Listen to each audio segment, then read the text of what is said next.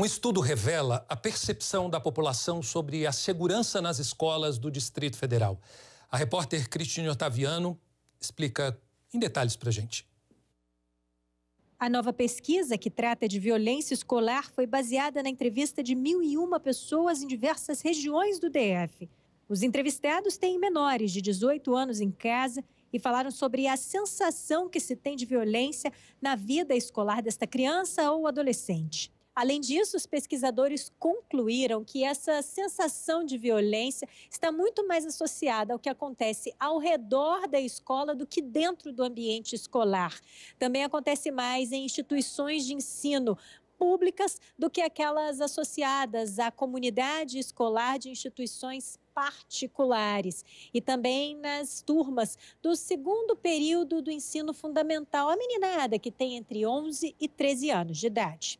Este gráfico revela eventos violentos que aconteceram com os menores ligados às pessoas que participaram da pesquisa nos últimos 12 meses. A coluna laranja das escolas particulares e a azul dos colégios públicos. A violência mais comum são os xingamentos, insultos e episódios de humilhação. A ameaça de apanhar, empurrar ou chutar vem logo depois. Só na sequência vem o embate físico, como bater.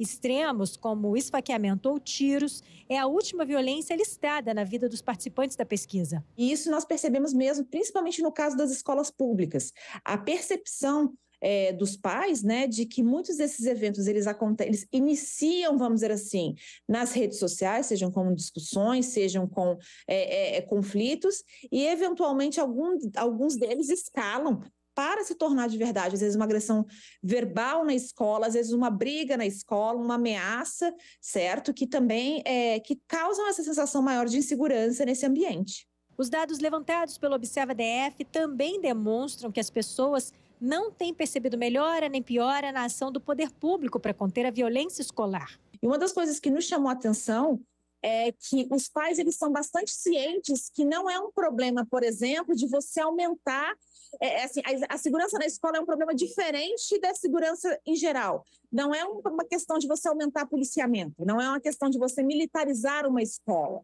O que a gente percebe é que muitos pais eles favorecem soluções mais educativas, mais acolhedoras, por exemplo, às vezes assim, é, mais intensificadas em termos de atividades é, complementares, assim, a ideia de, por exemplo, a cabeça ocupada evita conflito, por exemplo, ou às vezes tira da rede social. Este especialista no assunto traz sugestões. Ele lembra da importância do investimento na estrutura física dos espaços escolares. Salas de aula, quadras de esporte, laboratórios e espaços bem feitos contribuem com o ensino. Além disso, ele fala que, em geral, professores ainda não encontraram um caminho de sucesso para trabalhar diferenças e desenvolver pensamento crítico nos estudantes. Este deveria ser um ponto a ser trabalhado desde a formação dos profissionais de educação. Estimular esse debate, estimular o pensamento crítico, estimular essa entrada do aluno na vida simbólica, na ordem simbólica e na vida social é o mais importante que se pode fazer. Mas para isso, professores precisam ser treinados, preparados adequadamente.